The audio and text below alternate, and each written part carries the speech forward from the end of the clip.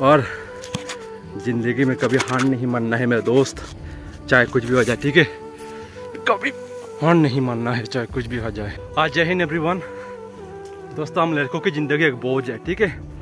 परिवार का बोझ उठाना पड़ता है। अगर घर का बड़ा बेटा हो तो छोटा बेटा भी कम नहीं है घर का, लेकिन घर का जो बड़ा बेटा होता ना, अगर वो एक बार समझदार बन गया ना तो भाई उसका खान में बोझ ही बोझ रहेगा, ठीक है?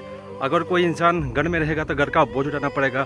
बाहर भी जाएगा कमाने के लिए, फिर भी परिवार का बोझ उठाना पड़ेगा, ठीक है?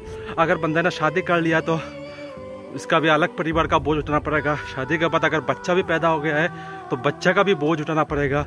अगर बच्चे को पढ़ाने के लिए स्कूल भेजोगे तो उसके लिए पैसा पैसा कमाने के लिए फिर से बोझ उठाना पड़ेगा अलग से, ठीक है? मतलब हम लड़कों का ज़िंदगी बोझ ही बोझ है, ठीक है? कुछ भी करो, बोझ उठाना पड़ता है। यह जो हमारा कान जो है ना, ये कान नहीं है, चलो, ठीक है? ये पूरा ज़िम्मेदारी है, पूरा ज़िम्मेदारी का बोझ उठाने का ये कंध है, ठीक है?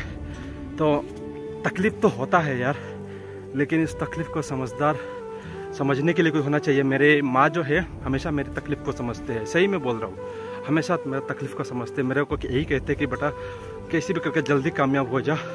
और इन सब चीज़ से थोड़ा दूर हो जा, क्योंकि तेरे को तकलीफ़ में देखते हुए मुझे बहुत दुख लगता है। मैं कहता हूँ, जब नसीब में होगा तो देखा जाएगा और सिर्फ़ मैं नसीब भी के ऊपर डिपेंड नहीं करता। मेहनत भी चाहिए और मेहनत के साथ साथ नसीब भी होना चाहिए। और नसीब जो होता है, वो मेहनत से बनता है, जहाँ तक मुझे पता है, ठीक है? और मैंने जो चीज़ को फेस किया है, मुझे वही पता है कि मेहनत के साथ साथ नसीब भी बन जाता है, ठीक है? शायद मुझमें बहुत कमी है अभी भी। उस कमी को पूरा करना होगा, फिर जाकर मेरी किस्मत बदलेगा, ठीक है? तो चलते हैं दोस्तों अगले वीडियो में बहुत जल्द मिलेंगे। आप लोग अपना ध्यान रखिए, अपना परिवार का भी ध्यान रखिए। और ज़िंदगी में कभी हार नहीं मानना है मेरे दोस्त, चाहे कुछ भी हो जाए, ठीक है? कभी हार नहीं मानना है, चाहे कुछ भी हो जाए, ठीक है?